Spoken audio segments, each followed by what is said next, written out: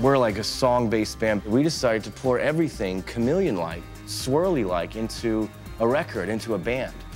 The hybrid block building of Shiny Toy Guns' songwriting, style writing, color swirling is we were hopeful that there's other people that are similar to us and like us, that we're of a new generation of music listener who is adapted to the technology of the current day, which means that those who were formerly a punk rocker or formerly into urban and hip hop or formerly into just straight CHR pop um, purchased an iPod, has a MySpace account, goes to the blogs, and they begin to see all this new music from all these different genres of music.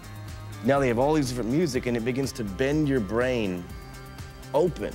You, you pry open all these closed-minded doors with technology to where you become susceptible to um, being adapted to liking good music.